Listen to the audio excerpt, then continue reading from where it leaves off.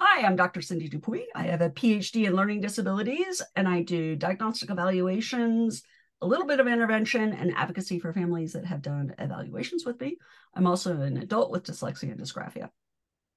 Hi, my name is Kim Sherman. I am a reading and writing remediation specialist, and I've worked the last 15 to 20 years with my own daughter and many students from kindergarten through college. Excellent. So we see that WISC, or the Wechsler Intelligence Scale for Children, is one of our most popular videos. And in looking at it, I realized we've never done this really basic thing, which is how is the IQ score calculated? Now, Kim, you've read enough of these. Do you know which or how the IQ score is calculated on the WISC? Well, it is a combination of all the different sub pieces of the IQ score um, combined together. Um, and then it's compared on some big chart with the age of the student and the exact age of the student. You compare it against the rest of the population of the world. And sometimes you have to jerry, not jerry rig, but sometimes you have to upgrade the score a bit based on some of the disabilities that the student has that Okay, you know, so not okay. quite. So, um, so IQ scores, like the IQ score is based off the various subtest scores, and so the IQ scores are only based on the current population that you're in. Okay, so in other words, there's actually a WISC for um, China and Hong Kong. There's actually a WISC for Asia and New Zealand. Okay, because there are culturally based items on the test that are only relevant in the United States. So, for example, on the information subtest here, um, there there are questions that are specific to the United States. I did not know that. So they are different per country and the culture. They are different per country. Next, um, when you calculate IQ, yes, you're looking up the norms. Uh, we've talked about a general ability index score, which is a separate computation. That's in another video that's been viewed a couple times.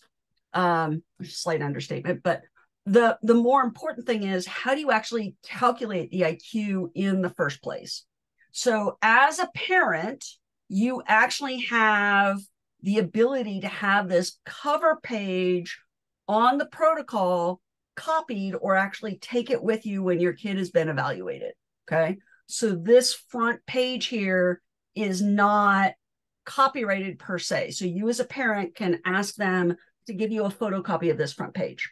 Either your private evaluator or your school that's doing the evaluation can give you a copy of this. So when you say them, you're referring to either the school psychologist or your own person that you pay to to do an outside diagnosis. Yes. evaluation. Mm-hmm. Uh, the the clinician doing the outside of evaluation may or everybody pretty much goes, oh, I can't do that. And the answer is, well, yes, you can, because you're not divulging anything that's actually on the test. And they actually make the front page one that can be torn off so that it can be shared. So, so every parent should have this if they have they can have this. Absolutely. But you should okay. all have this. Okay, got it. But it's actually on our website. So if if you don't have it, you can go to our website, you can download it, and you can write your kids' scores in. So there's nothing particularly special. So it's available. You go to explaining dyslexia, the website for this, this is available. So you can just download it. Okay. So now the one thing that you're not going to have is the raw scores. Okay.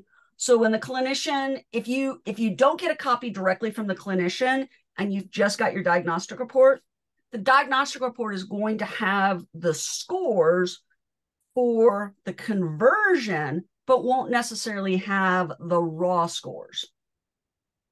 Does that kind of make sense? Well, the report that you receive, it won't have the raw scores, but will you so it, you will not have all the very specific information, yeah, that of each particular subset, or will you have the scores of the subset? You will have the the scaled scores for each subtest. Okay. But if and that will come in the report, but typically, unless you get this cover page, you're not going to see the raw scores.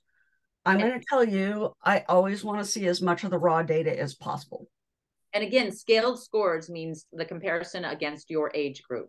Very good clarification. Excellent. Yeah. You that, learned this. Get Yeah, to be a pro at this. Okay. Took me a- So when you look at this, you will notice that right here, there are a set of boxes that do not have parentheses. Okay, you're looking at me like I don't quite. No, I got it. Okay, good. So do you know what the difference is? I, I'm trying to remember if the one the ones with the parentheses aren't the substitution ones, are they the substitution? They ones? are of ones that can be used for substitution. So let's say you were in the middle of block design, which is putting the blocks together to look like a design, and the um, fire alarm went off.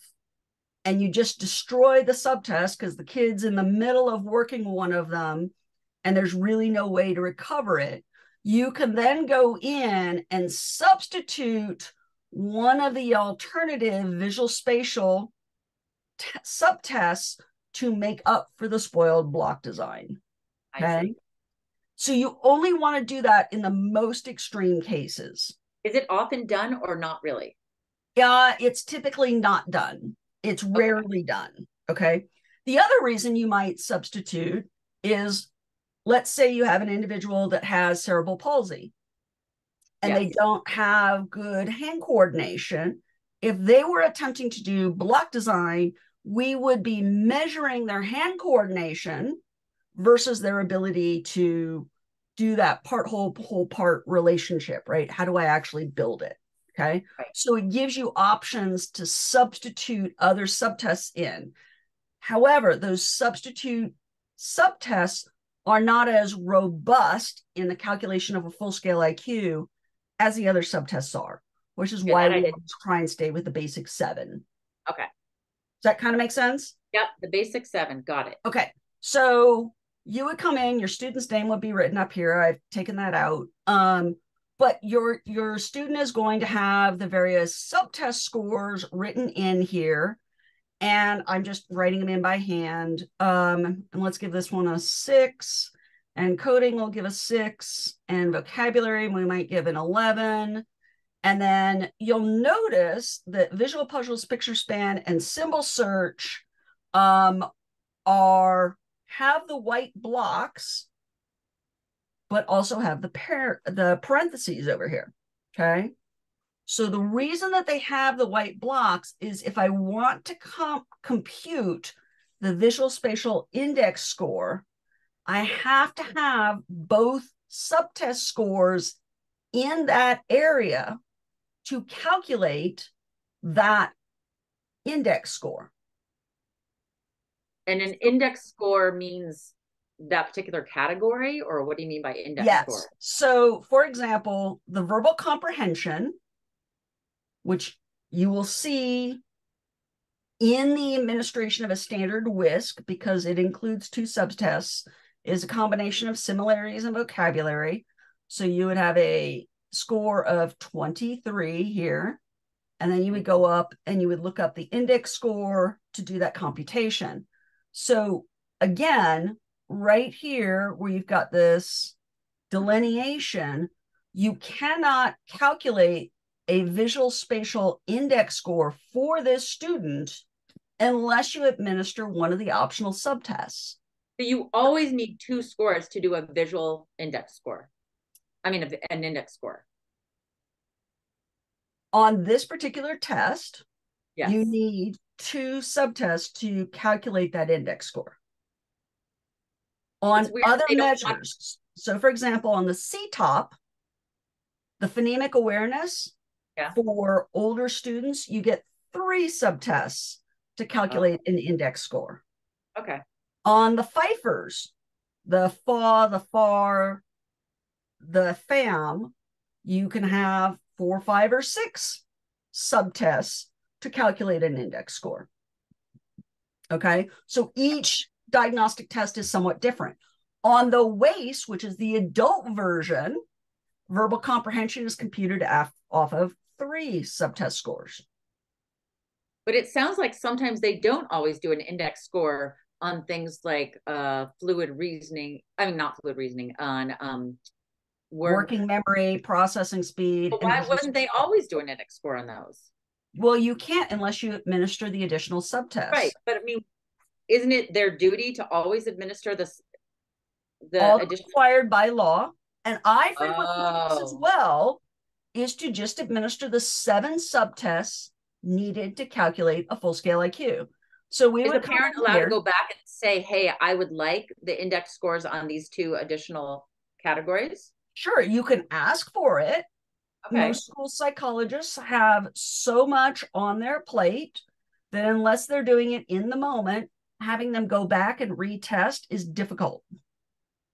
So, you as a parent, when your child is going to be evaluated, you need to say, Hey, can you please make sure you do the full working memory and the full processing speed and the full visual spatial on my child when you do the IQ test?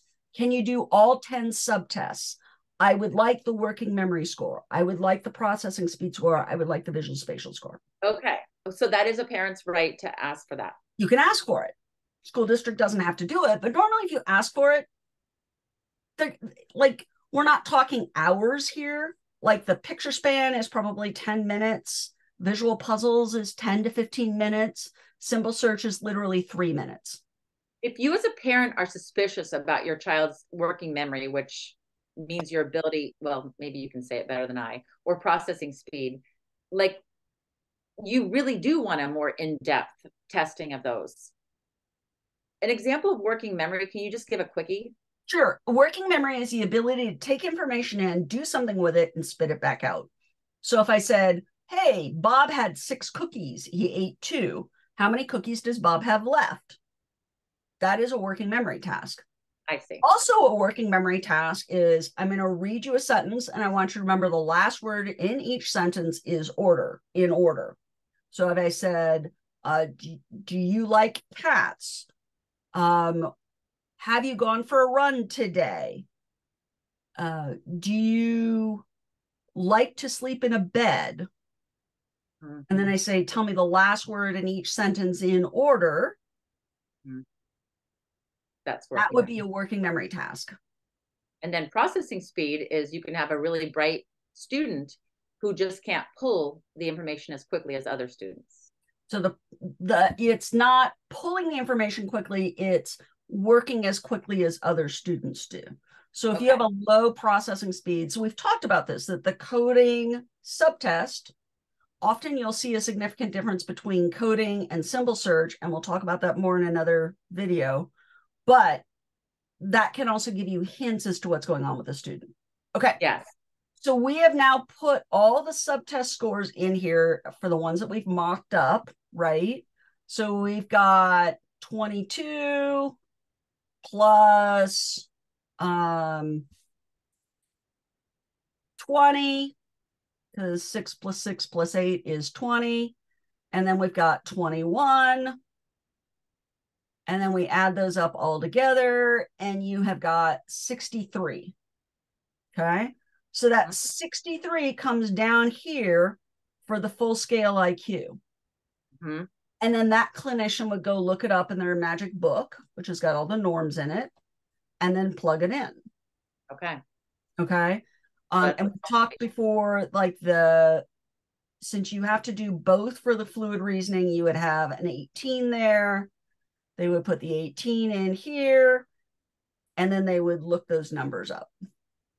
Okay. Does that, does that make sense? Yes.